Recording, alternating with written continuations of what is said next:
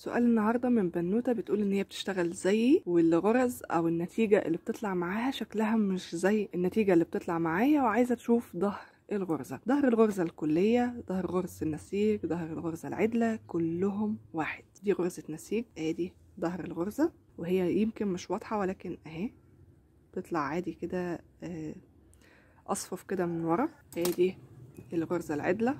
برضو ظهرها زي ما انت شايفة.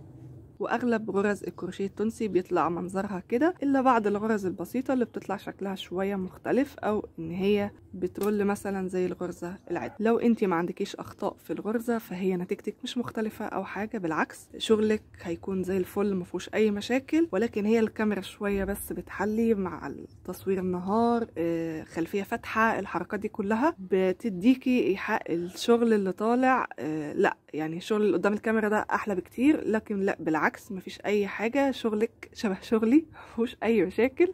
النتيجة ممكن ما تكونش زيي لو انت استخدمتي أنواع مثلا آه، خيوط مختلفة. استخدمتي خيط سميك وأنا مثلا استخدمت خيط رفيع. استخدمتي مثلا إبرة ضخمة وأنا استخدمت إبرة صغيرة. ده بس اللي هيديكي الفرق أو الإحساس اللي انت حاسة بيه ده. ولكن هي هي نفس الغرز ونفس التأثير ما فيش فيها أي مشكلة. اتعلمي دايما إن انت تعملي حاجة اسمها فاتورة صغيرة كده 10 20 غرزة من القطعة اللي انت هتشتغليها وشوفي الملمس والشكل هيطلع معاكي إزاي قبل ما تتورطي. قطعة ضخمة وتحسي ان التأثير أو الشكل مش شبه الفيديو اللي انت شايفاه. طبعا سواء ده معايا أو مع غيري. جربي الحركة دي. فعليا بتحسسني بشكل الغرزة عامل إزاي. أقدر استخدم ابرة مثلا ضخمة أو أو صغيرة. الخيط ده مثلا مناسب يطلع شكله حلو ولا لأ. كل الكلكعة دي بتروح خالص وقت ما اعمل الفاتورة الصغيرة اللي هي 10 سلاسل وابتدي اعرف أنا هعمل إيه وهشتغلها إيه تحديدا. بس هي ممكن نتيجة تكون مش بتطلع شبه الشغل بالظبط عشان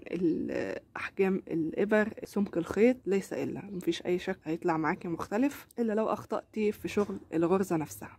وده نادرا لما بيحصل معاكم لأن كل حاجة الحمد لله بنشرحها بالتفصيل الممل وأي سؤال أنتوا بتسألوه أنا بجاوبكم عليه سواء بفيديو أو حتى بتعليق. فظهر الغرز زي ما انت شايفة تقريبا كل الغرز ظهرها وشكلها بيبقى واحد. الاختلافات اللي بتطلع معاكي بس بتكون بسبب رقم الإبرة أو سمك. الخيط وطبعا ال- التصوير يعني ممكن التصوير هو بس اللي يكون محلي القطعة زيادة لكن مفيش أي اختلافات. وبس خلاص تابعوني على الفيس والانستا لو حابين وروحوا على التيك توك لو بتحبوا الحاجات السريعة.